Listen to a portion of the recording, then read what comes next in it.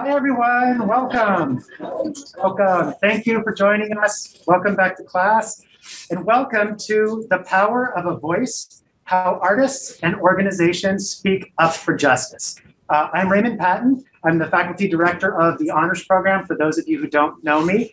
As those of you who are in class here every week know, uh, we meet many of us here uh, in person, many of us remotely, and then also today for our special event, we have a live audience uh, watching over Facebook at the New York Philharmonic's live feed. Um, so welcome to all of you here and welcome to all of you out there. Um, so today we're going to continue the conversation we've had about justice and how your lives intersect with justice. Um, that's a topic we've been talking about all semester. Today, though, we're going to have the unique opportunity to hear about what the arts can say on behalf of justice and how organizations like the New York Philharmonic, uh, who has graciously joined us co-hosting this event today, um, and some of the organizations, you'll, other organizations you'll hear about today, how they can play a role in advocating for justice. Uh, and this is something I know many of you are looking to do in your own lives, and I hope you can draw inspiration from uh, our fabulous panelists. Some questions I'd encourage you to think about as you're, you're hearing uh, from our panelists. One, what is the unique contribution that the arts make to the struggle for justice? Two, how have all the individuals here positioned themselves in their organizations to contribute to just causes? And how do they lend their unique voices to that work? Um, and I hope that's something you can take into your consideration as you think about your own lives and your own uh, causes of justice that matter to you. Um, so since we want to make sure that we don't distract from uh, our attention on our panelists, we ask that you hold your questions to the end. Uh, those of you in the live audience have index cards. If you have questions, feel free to write them down on the index cards and we'll collect them to ask the panelists at the end. Those of you uh, attending remotely, you can put your questions uh, into the chat, and then our moderators will pass those on to uh, the panelists during the question and answer period. Um, finally, I want to thank all of the people who, who have made this possible. First and foremost, to our wonderful panelists who have made this event possible with, with your own lives and your own work. Uh, also, with, with the New York, for the New York Philharmonic, uh, all of our wonderful colleagues there, and particularly Gary Padmore, who spearheaded this. Thank you, Gary. Curate John Jay, Dean Dara Byrne, uh, Ms. Alana Phillip, our, our colleagues uh, in, in tech and video services. Thank you. This would not be possible with, without all of you. Um, and to kick us off, uh, I'd like to invite Ian Manuel to take the mic and to share, share the work that you have created. Thank you.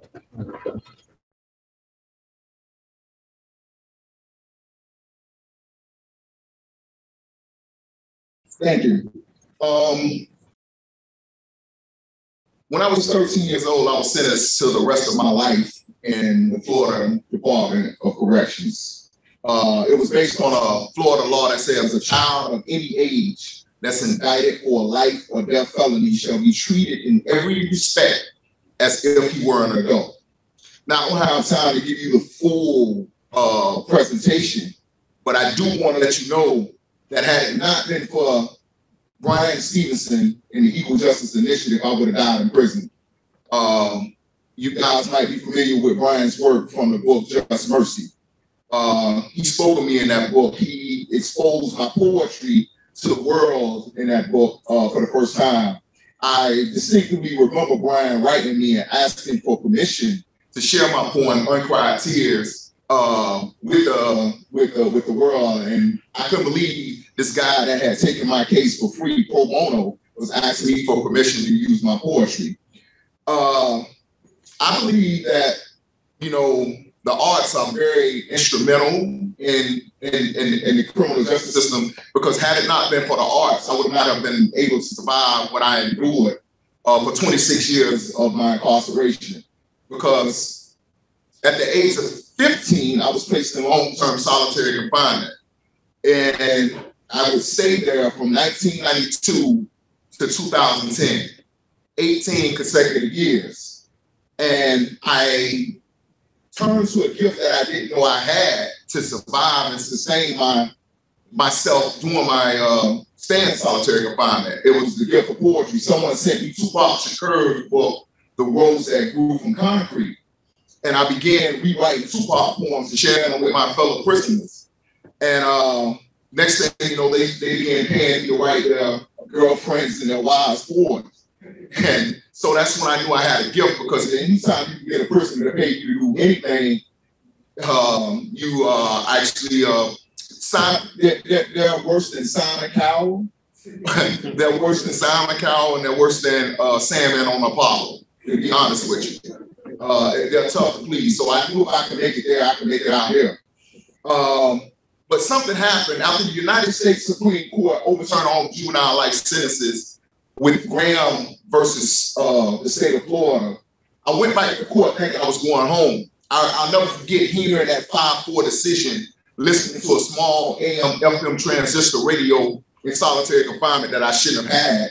Um, but someone had snuck to me, and I, I remember it coming on and it said, in a 5-4 decision, the United States Supreme Court has overturned all life sentences for juveniles. And I'm like, what? What? What, what did they say? And then they went on to the next thing. And I had to wait 30 agonizing minutes to hear it again. And this time it was a 6 3 decision, but still in my favor. And I thought I was going home. And I went back to court. And the judge said something before he went into the chambers to deliberate to let me know that I wasn't going home. He said, there was a statement made in this courtroom about rehabilitation.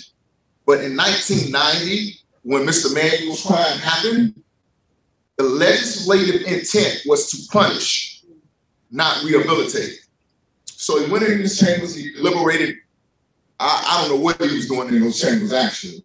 But when he came back, he looked me in the eyes and he said, Mr. Manuel, the state, want, the state wants me to give you 75 years when a consecutive and of your life sentence. I'm not going to do that. I don't know if the United States Supreme Court would agree with that. So what I'm going to do is I'm going to sentence you to 65 years in place of your life sentence, followed by 10 years probation. Um, I was distraught. I was hurting because uh, I, I thought I was going home. But I'm not an anomaly. All across the United States, uh, kids are being resentenced to astronomical numbers because just because the United States Supreme Court says you can no longer be sentenced to L-I-F-E, judges are sentencing kids to term of year sentences that still equal life 60, 70, 100. I've seen one case where a kid was actually sentenced to 200 years and said it didn't violate the U.S. Constitution, Eighth Amendment, uh, uh, cruel and unusual punishment. But when I went back to my cell uh, and was sent back to prison, I turned to my gift poetry became like a, a, a, a, my therapy. It became a way for me to express myself. And so I like to share the poem that I wrote after the judge who sentenced me to 65 years. And it's actually the title of my, my book uh, that Random House published called My Time Will Come. And it says, I promise you, the brunt of my oppression has a purpose. And the same person that you persecute will one day be worshipped. Though I stand before you bare chested and shirtless, with my soul and emotions naked, just wanting to be nurtured. Yeah, despite the desperation, desertion, and hurting, my time gonna come. Though I compose this poem not knowing if I'll ever be able to perform it in an auditorium, I do it with the faith of a poet that believes he was born to do it, like an acorn caught up in a storm, flung from the branch where it was born. You can only hold me back for so long. My time gonna come. Despite the difficulties and disappointments, my determination remains undaunted. Though the waters of my tomorrows are deep and uncharted, the buoyance of my character will float on wavering towards like a song written yet unrecorded. My time won't come. Though you wrap me in chains and sprayed me with chemical flames and did all of the things you did to add to my pain, my circumstances will change. I believe this with the depths of my being that as long as this world continues to spin, it cannot end till it's been enjoyed by Ian. Remember this day, because things won't always be this way. My time gonna come. My time gonna come against all conceivable odds. My time gonna come. Thank you.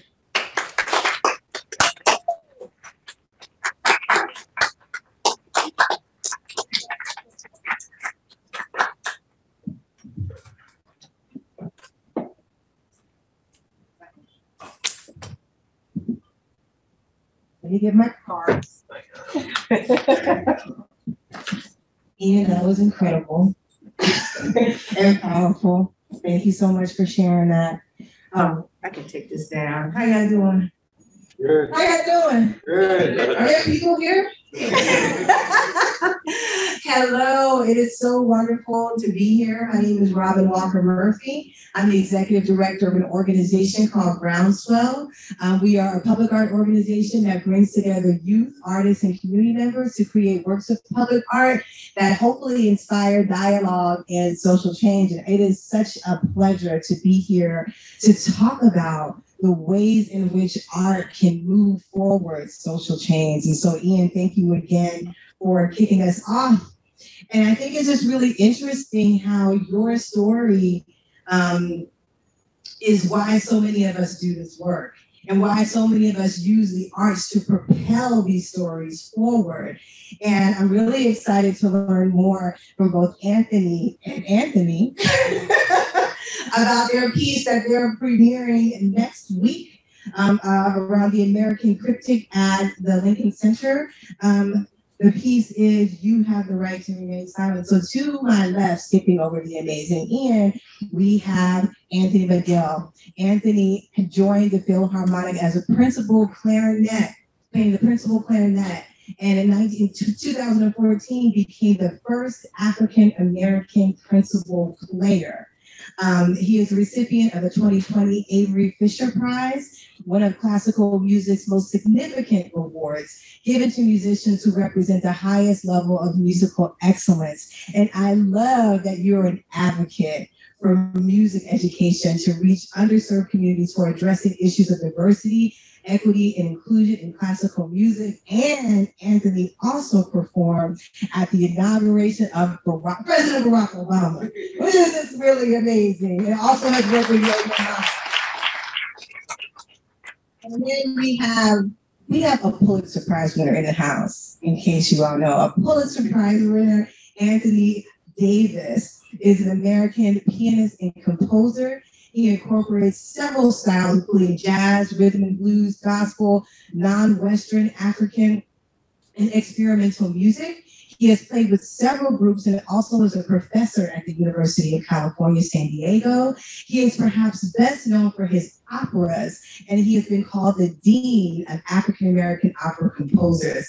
Um, he has been known to, he composed um, X, the life and times of Malcolm X, which I am just, I can't wait to hear more about that because I love Malcolm X. So I'm just really hyped for you to talk about that. And which premiered at the New York City Opera in, in 1986. Amistad was premiered with the Lyric Opera Chicago in 1997, and Wakonda's Dream was premiered at the Opera Omaha in 2007. His opera, The Central Park Five, premiered June 15, 2019 at the Long Beach Opera Company in California. It won him a Pulitzer Prize for Music in uh, May 4th, 2020. Thank you so much for joining us, and thank you so much for the dream. So, Ian, I did a little research, and what I found, and this is something I also want to speak to um, Anthony's about, is you were in solitary confinement for 18 consecutive years. Yeah. And the spark, from what I understood, if I got this right, is you were taken out of your cell and they thought they were going to punish you all by making you watch PBS. And that punishment actually was a catalyst for your art. Can you talk a little bit about that? So yeah, um, I had only been exposed to acad- academic style kind of poetry, the kind of poetry that you see on the page. Um, And yes, in fact, in prison, they use PBS as a punishment um, because prisoners like to watch sports and entertainment.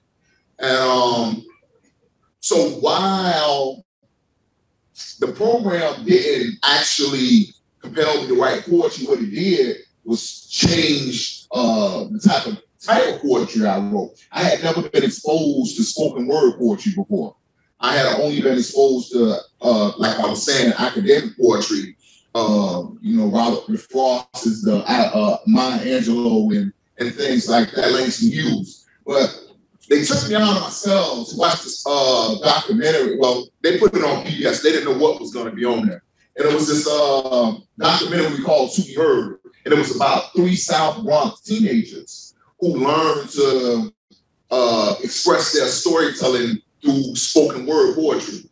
And I couldn't wait to get back in my cell. I was like, I was so engrossed and engaged in this. I couldn't wait to get back in my cell to, to try to capture what I had seen on screen and put it on paper.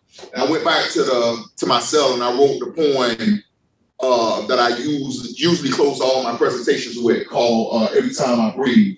It's it's uh, such a powerful poem, and and yeah, it it what they used as a punishment ended up being something that or that became a pleasure for me, and to share my gift with the world.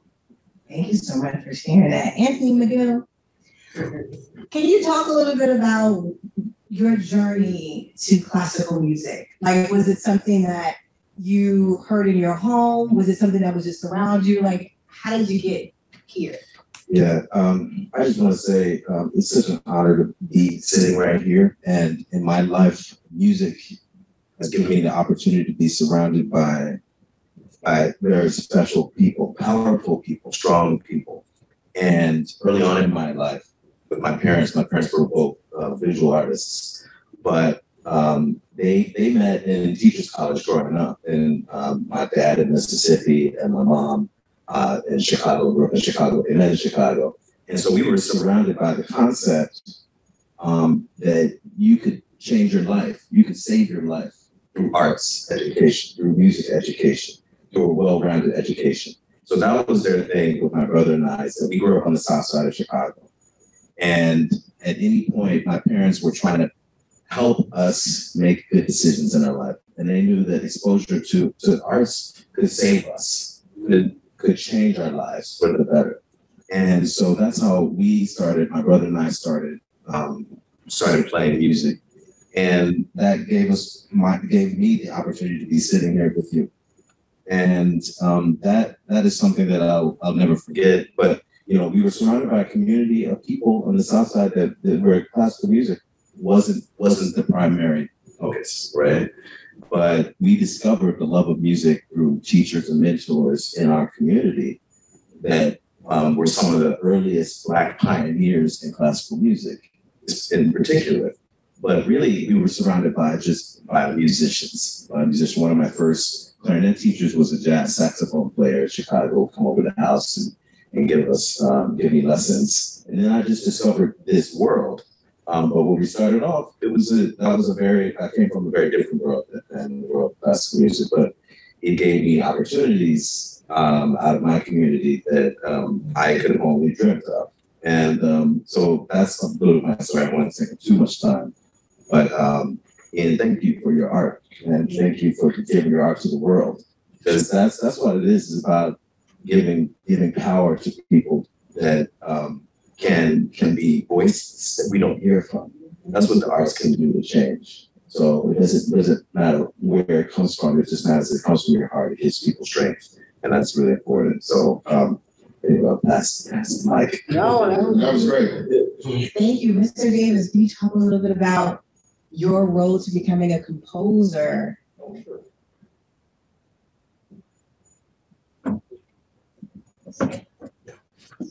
Yeah, I, I, I had a long road to becoming a composer. Uh, I think for me, music in the beginning was an escape, a way of escaping all the tensions and stuff that were around me in school. You know, I would just come home and, and, and play the piano, and that seemed to I made, made me feel better. And Uh, in fact, my parents had to kick me off the piano because I wanted to play all the time. So uh, and and, uh, and and and so music was it was very encouraged. My father, it turns out, was a, a musician before, and then he decided he, he he eventually decided to go in the direction of uh, becoming a professor of literature, etc. But before I, I, didn't know until my father's death how deep his connection to music was, which was kind of ironic because when my father died, um, uh, Raphael who is the um, violist for the Juilliard String Quartet, came to my father's funeral. He said, told me that my father was an incredible violinist and that he used to play all the time. And and uh, and I never heard my father play the violin. And he, I always heard him play the piano. He could play Liszt, you know, he could play. I mean, he, could, he was a really good pianist, you know, for as an amateur pianist. But I but I didn't realize that wasn't even that was the second instrument. By the time I was born, he had given up the violin because it was so frustrating being, an African American in 1939 and being a classical violinist and trying to make to make a, you know, trying to create a career. At that point, he thought it was impossible so he, he was very excited when I when I uh, decided to become more and more uh, involved in music. And then when I, you know, I started to, to, to at that same time I started, when when I started to play jazz was when I was in 10th grade. And I'd already been a classical pianist since I, you know, was a little kid. And, uh, and at the same time I started to compose and both, both those things kind of started at the same time. And, uh, and I was um, I was happy that my father got to hear some of my music, you know, at least the beginning of it, you know, before he passed on. So, um, so you know, but but I, I but I feel that I, you know I that I always had my parents' support, and they understood that that music was important, being an important release, an important way, also way for me to deal with all this all the stress and tension that was around me. Thank you. Let's talk a little bit about the liberatory or the potential liberatory power of the humanities, arts and humanities. You all haven't read the autobiography of Frederick Douglass, please do soon. Um, so there's one part in the book where he talks about, you know, when he learned to read. And when he when he learned to read, he could no longer be enslaved. Like there was something that kind of clicked when he learned to read, and the next thing you know, he like turned the whip around on the person who was enslaving him and like whipped him. Right? That was like the the the fear of having, you know, black people, you know, know like how to read. Is there a moment like that for any of you when the arts, when the humanities has clicked for you and shifted something inside of you that could not go back to who you were before? Yeah, um, there's so many transformational moments like that in my life. Um, the first time someone paid me to write a poem, uh, I was shocked. Like, like you really paying me to, for this, you know? um, but it, it, let me know, like, I, it is my belief that God gives each and every one of us a gift. My gift just happens to be the ability to compose words in ways that move me. Um, I remember one day after President uh, Barack Obama won the election, I wrote a poem, a, a, poetic speech called "Yes, We Did." And in prison, you have to, and at least the prison I was in at this time, in order to be heard, I had to get down on the lay on the floor and speak under the door, um, so the other prisoners could hear me. And so I'm laying flat on the floor and I'm reciting this poem called "Yes, We Did." And I just distinctively remember. Uh, the officer that was sitting in the bar downstairs at the at the table, uh, waiting to the end of the poem, and then running up the stairs and come banging on my door, and he was like, "Ian, no, actually, they call you by they address you by your last name in prison, Manuel, Manuel, man, let me get that." Wow. Let me get that. I'm like, let you get what? let you get what? and he like, oh man, let me get that speech you just wrote, man. I I, I have a blog and, and I want to put it on my blog, man, and, and, and I promise to give you your credit. Wow. But I'm looking at how he's acting and how he's responding to my words, and I'm like, he's making me nervous. Like, like I, I felt like he was gonna s- steal it from me Mhm. and make it his make it his own. So I was like, nah. And he was a cool officer. He was cooler than the like some of the rest of the officers, you know, that used to beat you and gas you and harm you and torture you. Uh, he was one of the better ones, but I still didn't trust him to give him my art. That's that was the part of me that that came from the universe. Mhm. Um, so that was the transformational moment for me, uh, just knowing that I had something of, of value to offer the world. That came from yourself that somebody wanted to, to also share with. And it's liberating. It's, Right. it's a freedom that because when you're in prison, they try to make you, uh, they try to strip you of your identity Mhm. to make everybody got the same haircut, everybody wear the same clothes, uh, everybody's just toe the line, and, and particularly in solitary confinement, you know, where you're stripped of everything, of sometimes even your mattress and your box, and sometimes just naked. And so to be able to hold on to your identity and in that way, poetry was the way that I was able to hold on and, and remind myself as well as others that I had something of value to offer the world. Thank you. Mr. McGill, Mr. Davis, you gonna respond to that at all? Yeah, I think, um, you know, first of all, I, I think I just want to thank John Jay again for this as well, because, um, ironically, um, I got to meet Brian Stevenson in this building too. Really? Yeah. And, um, so to be sitting here is very, very strange for me. But you know what, I, you know what I see in, in your story and, and a lot of our stories is something that music and art can give one, and that is hope. Is hope in the face of despair. So a lot of times, and you talk, you speak of freedom, right? Um, a lot of times you can you can be trapped in a prison of your own mind as well, even if you don't have bars around you, especially in certain neighborhoods, like the neighborhood I grew up in. And uh, music and art um, gave gave me the capacity to see beyond the the segregated bars of the community that I grew up in. And that's that's a very powerful thing because you can imagine something else out of your situation. And no one knows that better than Mr. Manuel here.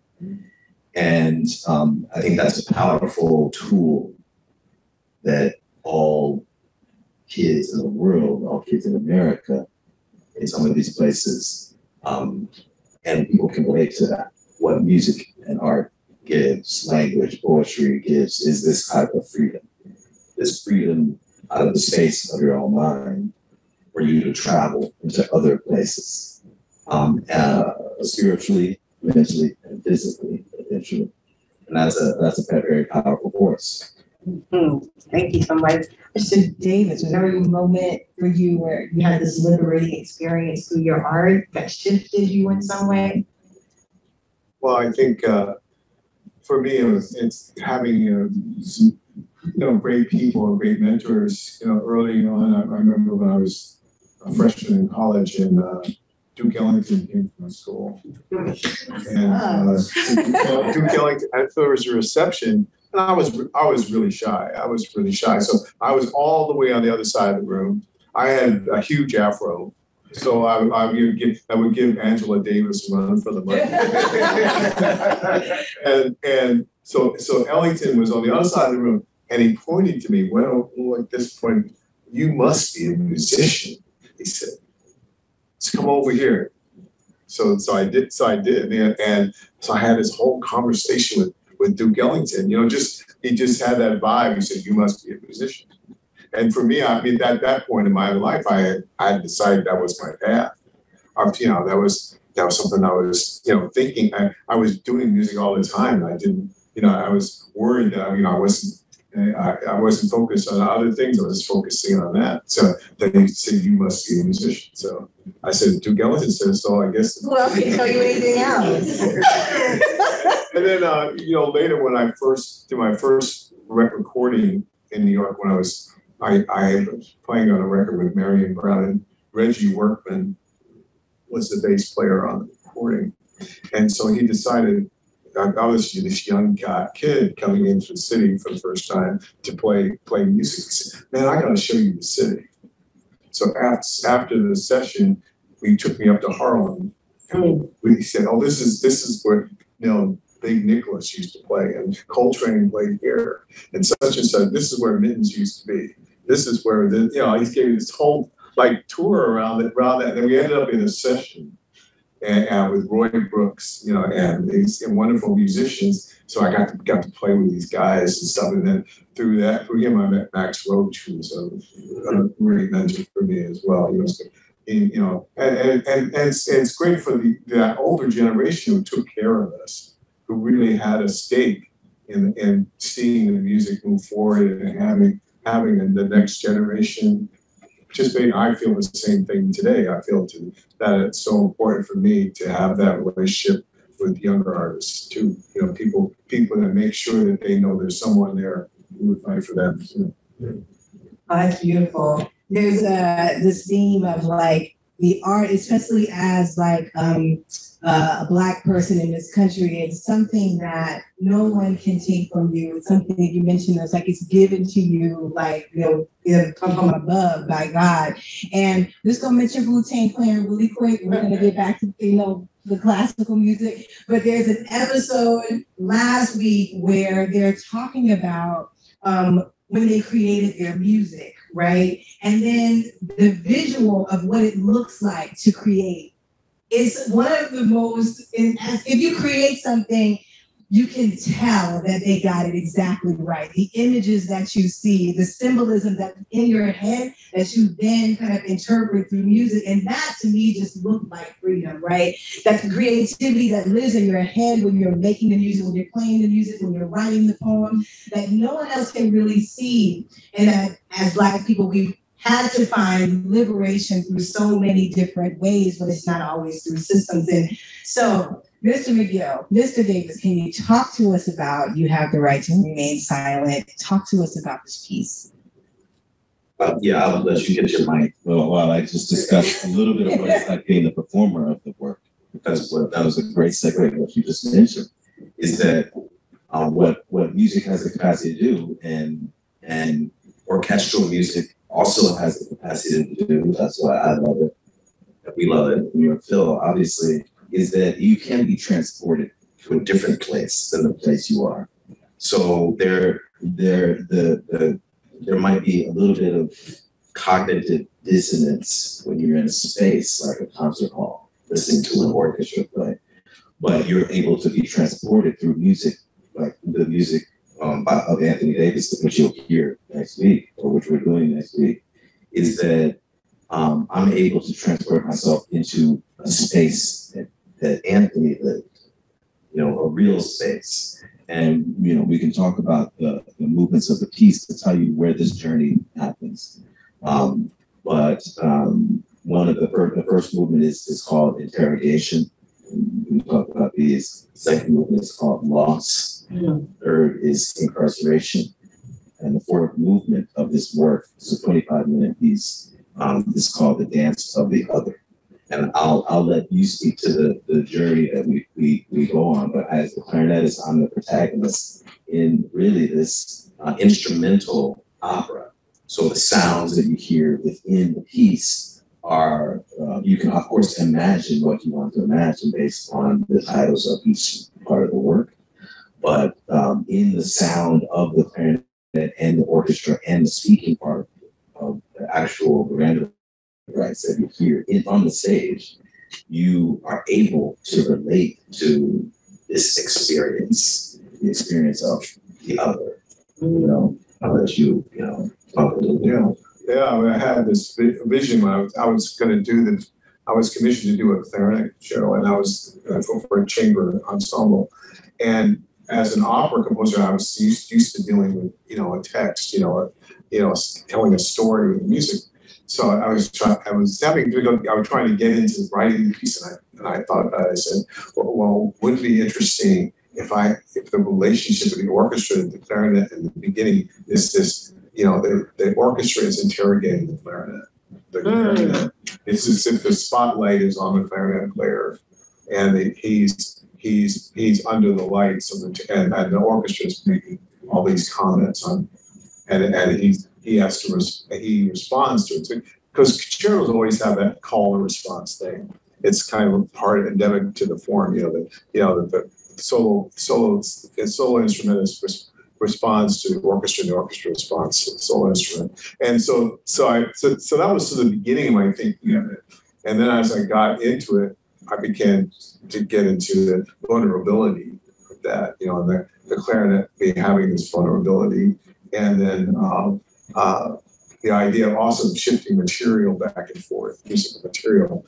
Um, and then as I bu- built on it, then the second movement, I realized I wanted, I, I needed electronics. I wanted to have this whole other electronic aspect to it. Because almost as if the electronics, and my friend Earl Howard created electronics, it- it's almost like another orchestra. So that, as that comes into the second movement and, and, and that, that develops uh, out, out of what, will- so the second movement, so the, the second one is called Loss. And then, and then you arrive at this melody, you know, that comes out That was really inspired by, uh, the music of Charles Mingus. And Charles Mingus was a wonderful composer who, who was very inspirational to me. Uh, and because his music was so visceral, so powerful, and then he had such a strong message to say in his music. And uh, so I wanted to ca- capture a little, little bit of that, that, that world, you know, in, in, in it. So, uh, and that features the contra alto clarinet, which is uh, uh, a wonderful instrument that An- Anthony got to play in Cincinnati and Temple played. And, and then, uh, then the third movement, I decided to do the whole thing with the, the incarceration, which was where actually you hear the whole Miranda, but from the percussionists saying the Miranda as they play. Hmm. So it's like, like they, so, so I'm realizing also, because part of, part of language is, it- it- what's interesting with text is that text has rhythm, it's speech rhythm, you know, well, what am I, what am I, what are you doing with poetry? You know, mm-hmm. it's all about, all about the beat. It's all about the rhythm. So I ha- had this whole thing with, okay, you have the right to remain silent. You know, okay, well, how, how, you know, how I write, and then other parts of it, and then interacting with the percussion as a back, and background to the clarinet and the, and the, the the synthesizer playing in spaces. So, so, so that was, that was the fun part. Then the fourth one was kind of a release from it, dance or the other, you know, so if, you know, how you would feel on the other side. And, uh, uh, Anthony plays it so beautifully and I'm so excited to hear him play again, so. No, um, I just like to interject something. You, uh, just listening to you talk just then, Anthony, I was, I was given so, uh, so many thoughts. Um, the conversation between the orchestra and the clarinet. It made me think about, um, the poem that, uh, that's actually in Just Mercy that I will call Uncried Tears, because it's a conversation between the conscience and the tears. Um, and I don't perform this live much, so I might mess up, but I want to share it with you guys. Um, it's very short. It says, imagine teardrops left uncried from pain trapped inside, waiting to escape through the windows of your eyes. Why won't you let us out? The tears question the conscience. Relinquish your fears and doubts and heal yourself in the process. The conscience told the tears, I know you really want me to cry, but in releasing you from bondage and gaining your freedom, you die. Hmm. The tears gave it some thought before giving the conscience an answer. If crying brings you triumph, then dying's not such a disaster. Mm. Uncried tears. I wasn't playing, by the way, it was just something that was. It's so powerful, it's so moving. And while you were speaking, I was near, I was hearing this, I was hearing his piece. Uh, piece in my head, right? A- Absolutely. I was hearing that piece, that word. I'm gonna collab. words. Yeah, I, I, that's what I mean. That's what I mean. I, I was hearing the spirit of your work in your words. And I think that's the, that is the beauty of art. Is that we've, we've never met. We, we had never met before last year. And And there's a connection, there's a thread that goes through people together in the greater community. And I think um, that that energy is something that art and music can do. It can connect people that have never met, that have had different experiences, and have and all of a sudden we're part of what we're part of humanity. We see each other's humanity. I see your art in his art, and his art in your art, and your art, and and your art and your presence. And that's a very powerful, powerful place to be. It is. It is. It is. And and the other thing that I was thinking about while you were talking, when you talking, when you said you met you met Duke Ellington, I literally just came back uh, from a trip, uh, and I met so many famous people um, on this trip. Um, uh, how can I say? Every year, Amazon holds this private uh, thing, and they invite artists uh, if they if people recommend them to you. So I was just hanging out with Jeff Bezos, uh, the richest man in the world. I was just hanging. Uh, Lucy Liu was asking me for pictures with me after I left stage because no one knew who I was before I got on stage. But after I left the stage, it was like the whole event transformed around around me and my and my story was like. So in the Bible, and I'm not, uh, uh, you know, of any particular religion, but it says your guilt shall put you before great men and I just felt that.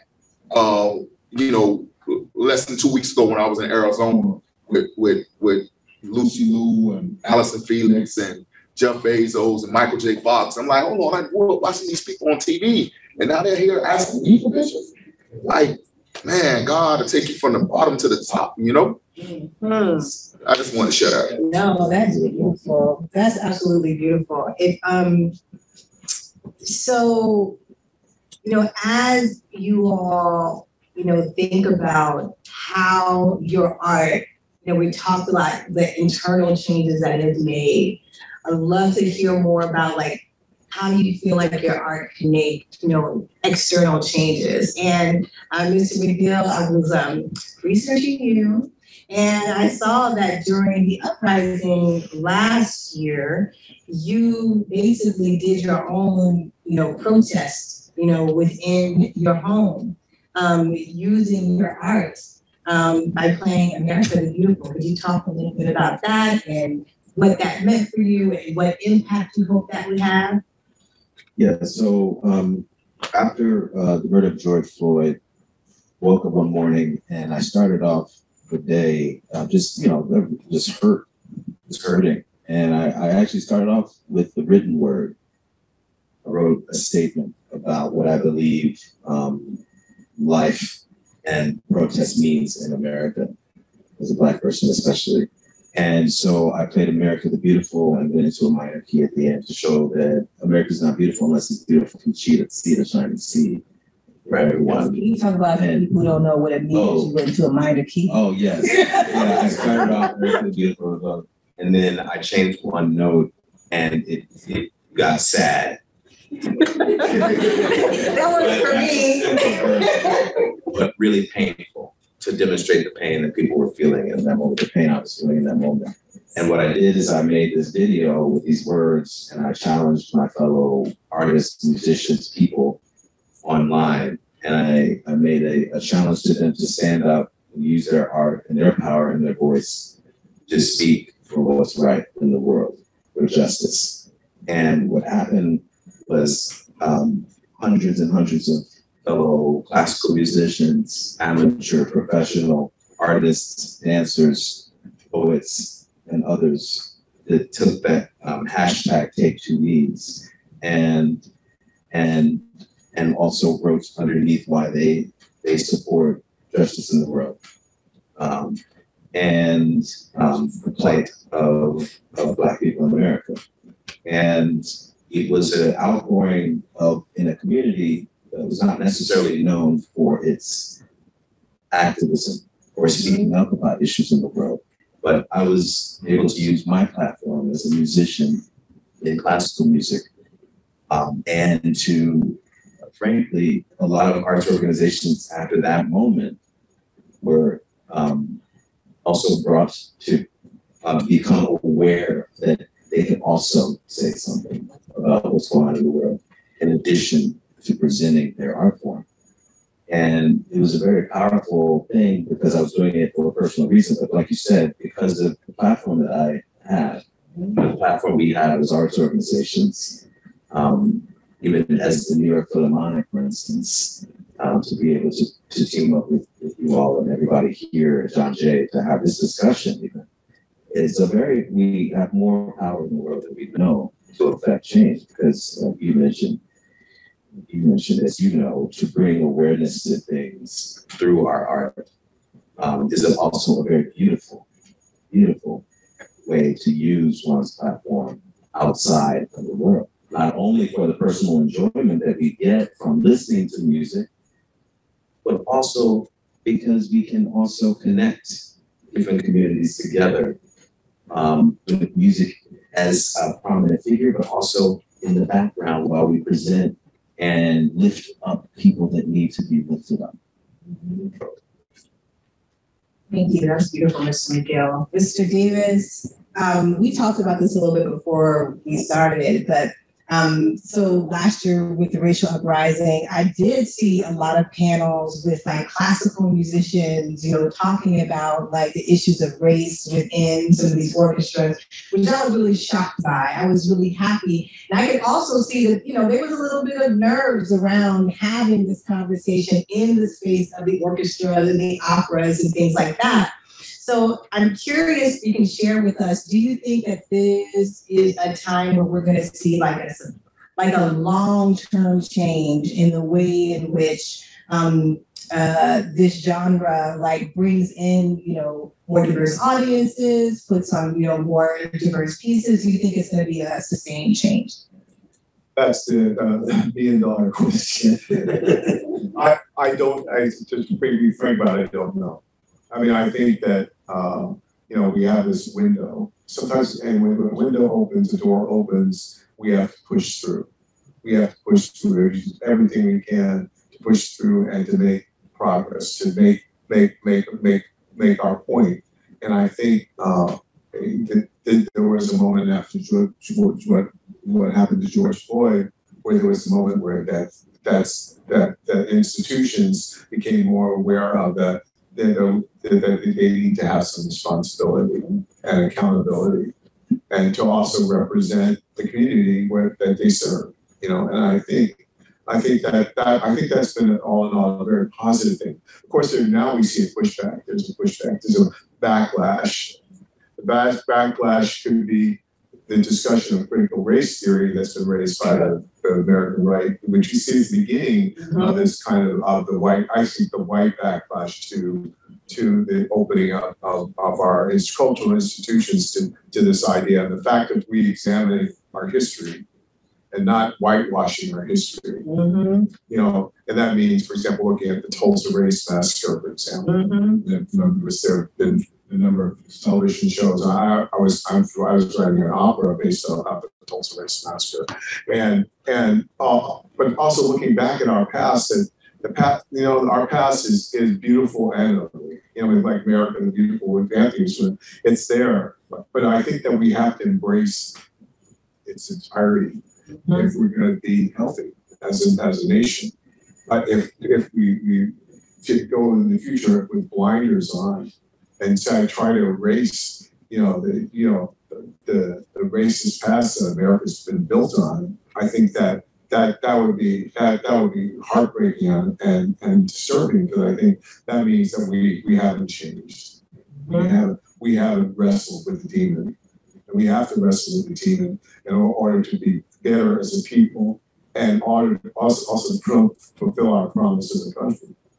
I tell you what, Mr. Davis, I ain't even composed, I'm coming to sleep.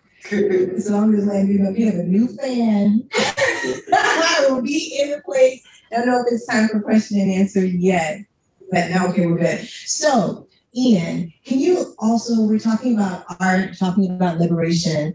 Um, I also believe that healing, having a healing practice is also a liberatory, you know, function. Um, what is the connection you feel like between your poetry and your journey through healing? Uh, good, good, tough question. Um, so, like I said, poetry was a therapy for me. Um, it gave me, uh, first of all, you know, men are looked down upon they cry. That that is intensified growing up in prison.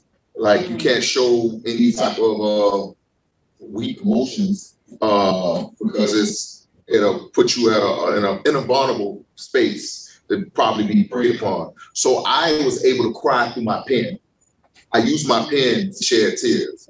Um, and but you know the way I, I I was healing through it because that's the way I was getting out, and then to manifest. For example, I just left Indianapolis where Butler University put my book. They bought like fifteen hundred copies of my book, um, and shared it as a community read instead of a common read because What's the name of your book? uh, my time will come. My time will come. Yeah, they shared it as a community read. Um, get around the political. The, the professor that brought me in said uh, uh, the provost was interested when she said community read. I mean, uh, common read. It's I guess it's uh, maybe you could speak to this. Uh, uh, it's it's political. If you use uh, the uh, the term common read, then it's a lot more red tape you got to cut through with the with the university or something. But they use uh, common reading, and so I was able to go to Indianapolis uh, they had me for two days and they took me to halfway house to speak with former to, to prisoners that had been released from prison but had one more step to get out and i shared with them and showed them you know how far i had gained in five years uh, you know i was released in 2016 uh, november 2016 to be specific the only thing that i believe happened good that november uh, uh, in 2016 um, right about that. but after 26 years. Um, and just to share my, you know, be able to share that and then to go and speak with faculty and students at the, at, at the university and have them just come up to me and just ask me to sign their books and follow me on Instagram. And it's like, hold on. What you're showing me now is totally different from what they tried to train me to believe about myself for 26 years that I wasn't worth anything, that I didn't have anything of value to offer, and all of that, the accolades, the the the positive affirmations, all of that is is the medicine that helps my healing. Mm. Because your story is so powerful. And I wonder, are you ever in conflict with like how you share it or how people receive it? Because you're such a strong, like brilliant person. Like, do you find that sometimes people, you know, can can en- engage with your story in a way that doesn't really um, respect the whole power of who you are? So, you know, in terms of like maybe fetishizing it or just, you know, being, you know, patronizing around it. Like, you know, how do you protect it, you know, to, in, when you share your story?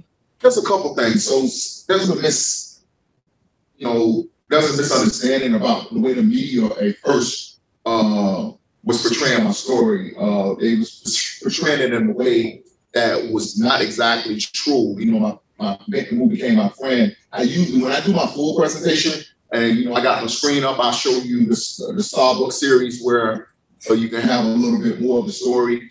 Uh, but they made it look like uh, I was free because someone forgave me. My, my friend, the victim, forgave me.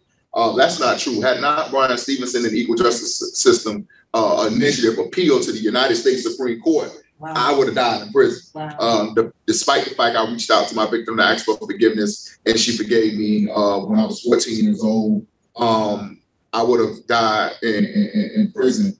Um, another, you know, thing that I think uh, gets misconstrued is that uh, I was I was just I was releasing everything is all right. The reentry process is one of the most difficult and critical part of the criminal justice system, if you ask me. Uh, you know, people get stuck on what's going on inside the prison, which is much needed because, like I tell people, like I told people during my CNN interview, if what happened to George Floyd happened in broad daylight, imagine what happens in prison walls when it's not being recorded behind those closed doors. But the reentry process is so pivotal because you take people who uh, get released with very little uh, skills um, and, and and if you don't have the support of of of an equal justice initiative and a Bryan Stevenson, uh, reentering society is extremely hard. It was still hard for me. applying, trying to get an apartment to stay. Oh, you're a convicted felon. Uh, we don't want you here. Trying to get a job.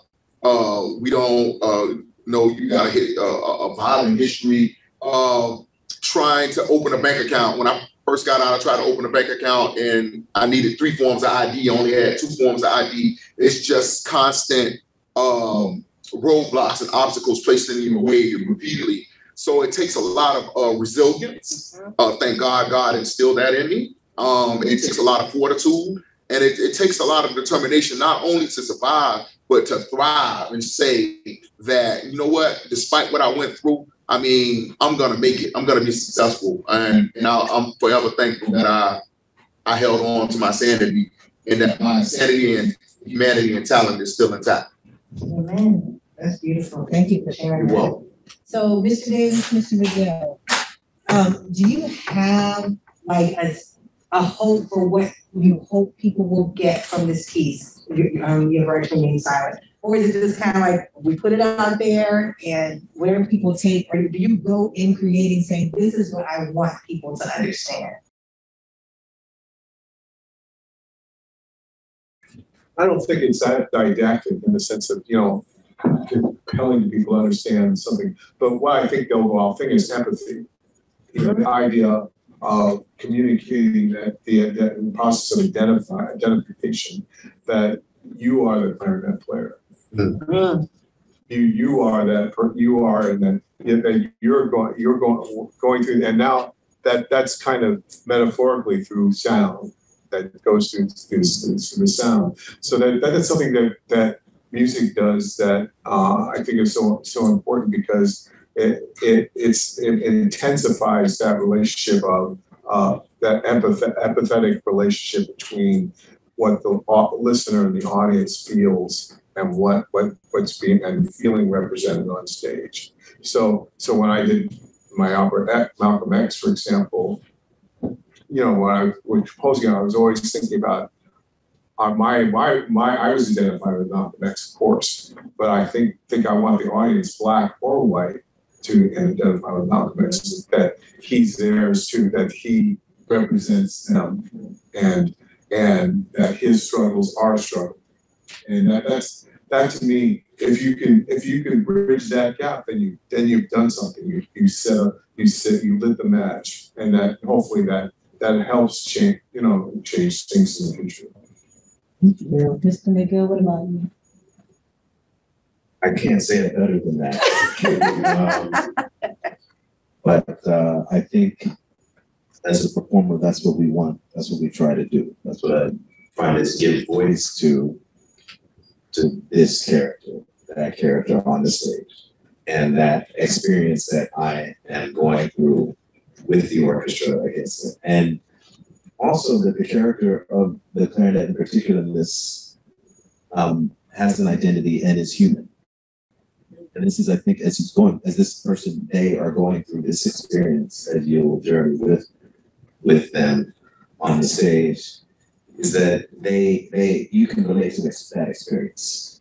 That we try to place people over there, although those are those people and those are not people. And, we try to separate ourselves from, from, from other people, generally.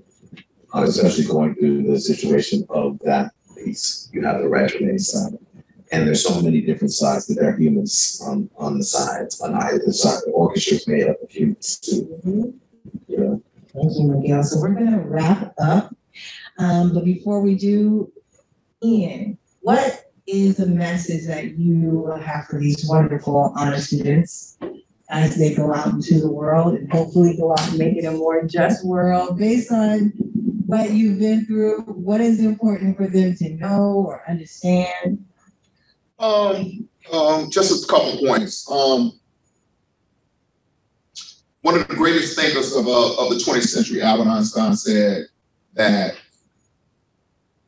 imagination is more important than knowledge. Um, Martin Luther King said, if I can help someone as I pass along, if I could cheer someone with a word of song, if I could show someone they're traveling wrong, then my living will not have been in vain. I think if you combine those things, man, and just believe in yourself and as help others as you go along, people are gonna tell you you gotta do it this way to be successful. people told me I, I wasn't gonna make it out of, the highest aspirations they had for me was to get out of solitary confinement. Ian, you're so smart. Why don't you just focus on getting out of solitary and being a teacher's aide? Hmm. That was the highest aspirations that they had.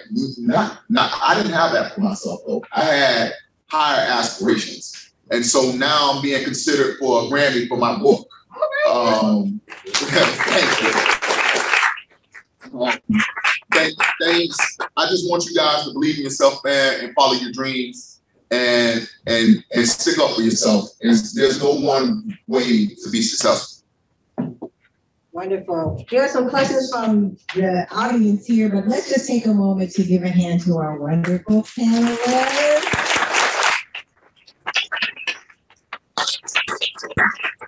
Thank you all so much. I learned so much from this conversation. I learned a tremendous amount from you. And Mr. McGill, Mr. Davis, I'm gonna get myself to Philharmonic, go to some orchestras, and come to see everything you compose, Mr. Davis. All right. So here's a question. I believe this question may be for you, Ian. Um, what would a concrete action plan toward creating rehabilitative centers rather than punitive prisons look like? So what would you, I know, so what would you want to see in terms of right now, the prison system that you've experienced? It wasn't about rehabilitating anyone, right? So if you could reimagine what a, a prison center could look like, what would it be? What needs to happen? Well, for one thing, uh, you know, I, I have to speak to the issues that's near and dear to my heart. Uh, solitary confinement. I feel like no child should not. Uh, recently, I wrote a New York Times op-ed article uh, that was published in March of this year about solitary confinement, and right after that, they stopped uh. Um, they passed a law to stop incarcerating juveniles in solitary confinement. Uh, I want to see that throughout the United States of America um, because I was a child, I was placed in solitary confinement, and I was kept there for nearly two decades. So I would, that's one thing I would love to see. Also, the age limitation, uh, to place an, uh, a child into adult prison. Uh, they, they, uh, not, a child should never be placed in adult prison. If you have to be eighteen years old to vote, you have to be twenty-one to drink, you have to be a certain age to buy cigarettes. Why not have a, a, a cap on, uh, the ability to place a child into adult prisons? Like, I should have never been sent to adult prison with a life sentence at age thirteen. Mm-mm. I know was um, watching something else that you were, um, another interview you did, and you were talking about in Florida, like the law is, I forgot how old children can be to be sentenced There's to. no age, there's no age There's no age limit to how young a child can be to be sentenced to life in prison in Florida. That, yes. Florida always mentioned that. All right. Was that like Sorry about that. Um, so how is your relationship slash outlook? How has your relationship slash outlook of the correction system changed in November of twenty sixteen upon release? How has it changed? Yes, it's when completing certain applications, um, does the question, have you been convicted of a felony make you, how does it make you feel? Well, it, it's a little different for me. I'm, I'm getting ready to uh, actually uh, apply for a job to work at City Hall. Um, and I'm actually, I, uh, I met the mayor, so it helped, uh, with the process. But what about the, you know, the people that didn't meet the mayor or whatever? But it, I, I'm being seen as a person. Oh, oh, you, I'm being seen as a person, but it's a vigorous background check that goes on um, to try to work for the government. And like I've been waiting three months. Uh, I actually quit my old job at Test and Trace, and and and, uh, thankfully I got I get speaking engagements all over the country to sustain myself. But uh, I've been waiting three months for the final approval of, of this job. Um, how has it changed? Moving to New York helped change the outlook because it's a lot more liberal. Um, had I still been in Florida or, or when I first got out, I went to Alabama um, with the reentry process. And uh, Alabama is a very, very, very red state. And um, that's where I was running into the problems with the reentry. New York's a little better, um, but there still needs to be changes. And I look to continue making those changes from City Hall, Wonderful. What part of Alabama were you in? uh, Montgomery. Oh my God. Yeah, down in Alabama. All right, so It says, while this isn't a question, I want to thank you all for motivating me to write again. Whoever said that, that's wonderful. Glad to that you- Have some more questions coming. Thank you so much. All right, Ian, what advice would you give a young person who recently got twenty-five to life? It's not over. Hmm. Um, one thing that kept me going is the fact that I visualized my life outside of the prison system. I mean, I was in prison physically, but mentally, I kept envisioning that I'm gonna get out one day. I'm gonna I'm gonna write a book. I'm gonna uh, they're gonna make a movie about my life. But in order for me to make a movie about my life, I just signed a movie deal, by the way.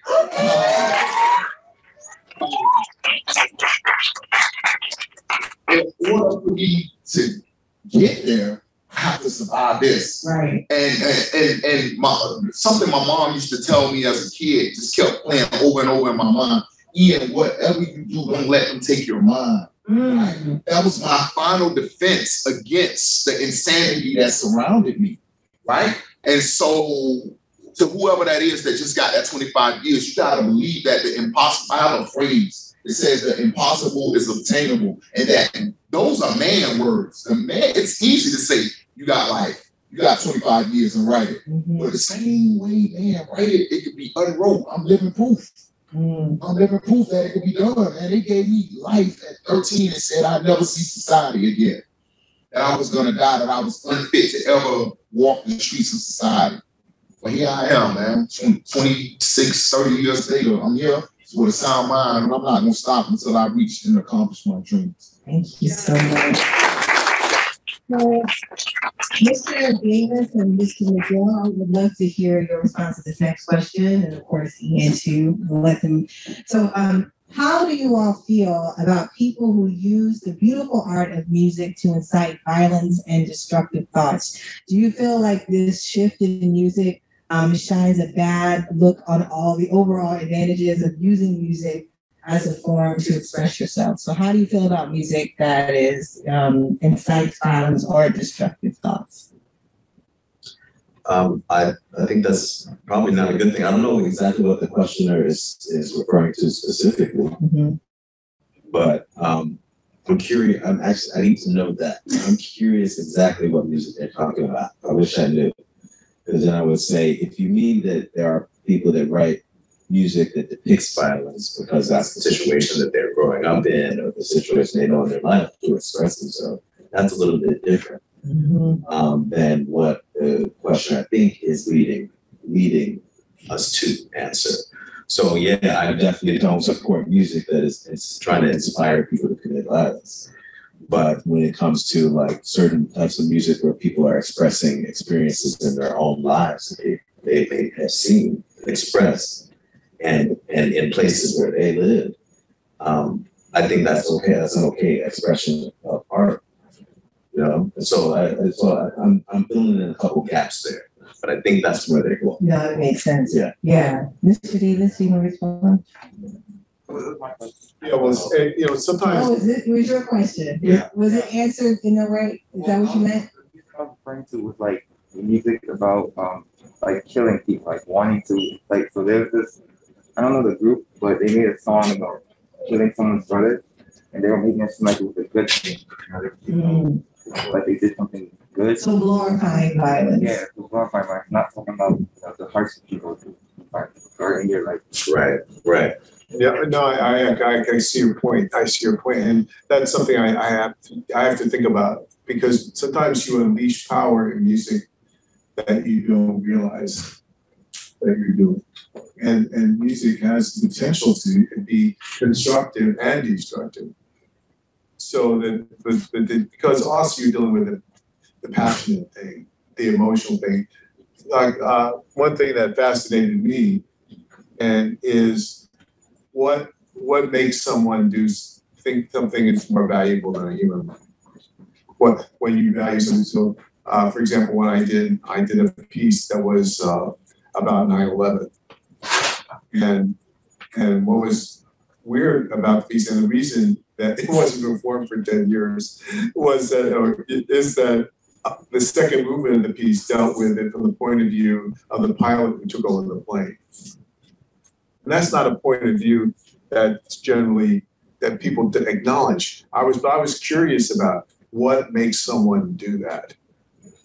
What makes someone do that? How does one get to that point that that, that, you know, and, and I, I didn't think that there's an adequate or an accurate answer to say that they were cowards. You know, which, which was sort of our politically correct thing to say at the time. But, but, but, but, but, but exam, sometimes you have to examine things that are, are disturbing. That's disturbing aspect, and art does that. Sometimes it's not all about being, you know, just, you know, uh, you know, just beautiful and, and pristine, but sometimes you're dealing with the, the, the disturbing nature of what, what we feel and what, what, what affects us. And, and to, to me, uh, I mean, uh, I mean, uh, Malcolm X always said that, uh, in America, violence is as American as apple pie. Okay, so, so, so, in, in telling his story, because when I did my opera X, like talking about Malcolm X, I, I was always like, I realized there's this undercurrent, this thing, this momentum, and as I say, almost the demon inside us and inside our society that makes us do things, you know, and that, that we ride it and we try to control it, but maybe we can't control it all the way. And, and so, so, so, but that's something that, that's what makes something tragic.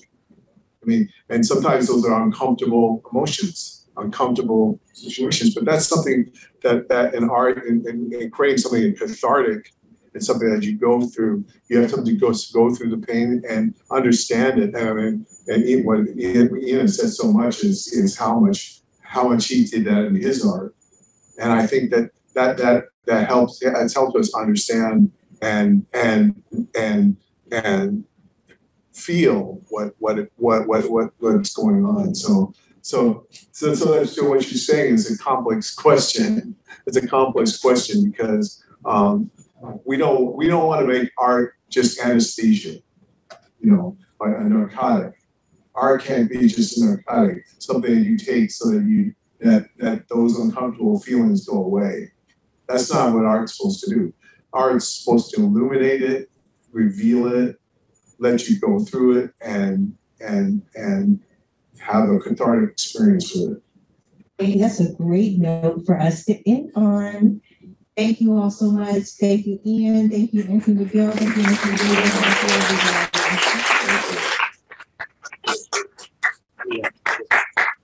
And thank you, Robyne Walker Murphy, for moderating the panel. Yes, great moderator, great moderator.